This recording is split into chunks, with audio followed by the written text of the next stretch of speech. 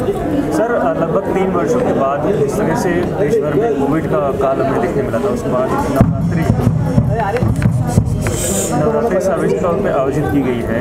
कैसे देखना है और इस बार का त्यौहार कैसे खास होने वाला है कोविड का संकट काल पूरे देश के लिए बहुत ही खराब गया मुंबई को के जो सब उत्सव जो थे, उनके ऊपर पानी फेर दिया था। लेकिन अभी सब उत्सव धूमधाम से मनाए जा रहे हैं। अभी का नया सरकार आया है, उन्होंने भी जो पाबंदी, सब त्योहारों के ऊपर, उत्सवों के ऊपर थी वो उठाई है। और ये शिंदे फडणवीस सरकार ने उत्सवों के लिए भी माहौल निर्माण किया है। और इसलिए आप देखोगे दहंडी उत्सव ज़ोर में हुआ। उसके बाद गणेशोत्सव, जो मुंबई का प्रमुख उत्सव है महाराष्ट्र का, वो भी धूमधाम से मनाया। और अभी अपना नवरात्र उत्सव, जो देश भर में मुंबई का नवरात्र उत्सव जाना माना जाता है, वो भी धूमधाम से मनाया जाने वाला है, क्योंकि संकट काल में लोग त्रस्त थे फाइनेंशियल त्रस्त थे आज अपना कुछ उत्सव नहीं, कुछ मनोरंजन नहीं। ऐसे में मनोरंजन का काम भी इस उत्सव के माध्यम से होगा और अपनी देवी माँ का भक्ति दर्शन करने का मौका भी मिलके आगे सब अच्छे दिन आने के लिए हम प्रार्थना करेंगे और मिलजुल के यह मुंबई का माहौल हम लोग अच्छा करेंगे। सर, कोविड जो हमारी थी, उसका खतरा तो आप देश दुनिया से तक कम हो गया। बीते दिनों हम देख रहे हैं कि मुंबई शहर में आतंकवादी गतिविधियाँ काफ़ी दिख रही। हैं चाहे वो गणेश उत्सव हो या नवरात्रि को लेकर भी कई सारी जो अलर्ट है वो जारी किया गया। ऐसे में सुरक्षा व्यवस्था सरकार कैसे एक ध्यान में रखो मुंबई तो संकटों से लड़ते हुए मुंबई में देखा है? मुंबई में का हमला है। मुंबई में अनेक संकटें आई है और उसका सामना मुंबई ने किया है, महाराष्ट्र ने किया है। इसलिए मुंबई कभी डरती नहीं आने वाली सब परिस्थितियों को मुकाबला करने की क्षमता मुंबई करों में है। और अभी तो देश में प्रधानमंत्री नरेंद्र मोदी साहब हैं।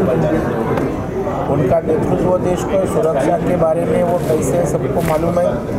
देश के गृह मंत्री अमित भाई शाह है और महाराष्ट्र में भी सरकार बदली अभी शिंदे फडणवीस साहब का सरकार है तो इसी तरह का किधर से भी आक्रमण हुआ होगा? तो मुंबई का पुलिस जो है, वो ख्याल करेगा।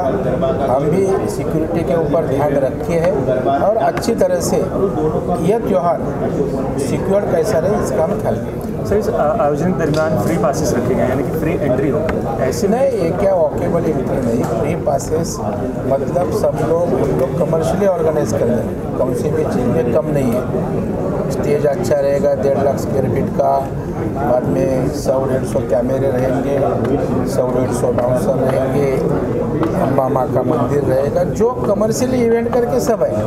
लेकिन हम उसके लिए चार्ज नहीं करेंगे। क्योंकि आप देखोगे कोविड में आज लोगों को चार पाँच हज़ार का पास बोला तो तीन चार लोग बीस पच्चीस हज़ार खर्चा, आना जाना। तो मुझे लगता है ऐसा पच्चीस से पचास हज़ार तक आज कॉमन फैमिली को वो परिवर्तन है।